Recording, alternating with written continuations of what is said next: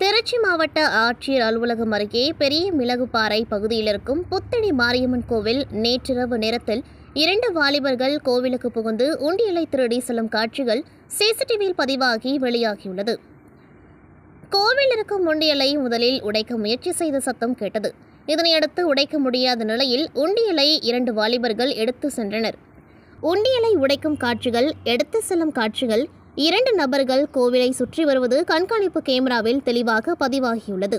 ஏற்கனவே சில வாரங்களுக்கு முன்பு இந்த கோவிலில் உண்டியலில் உள்ள பணத்தை கொள்ளையடிக்க முயற்சி செய்யப்பட்டுள்ளது என்பது குறிப்பிடத்தக்கது. தற்பொழுது உண்டியலை உடைத்து பணத்தை எடுக்க முடியாத நிலையில் உண்டியலை தூக்கிக் கொண்டு இருவரும் ஓடிவிட்டார்கள். காவல்துறையினர் வழக்கு பதிவு செய்து விசாரணை மேற்கொண்டு வருகின்றனர்.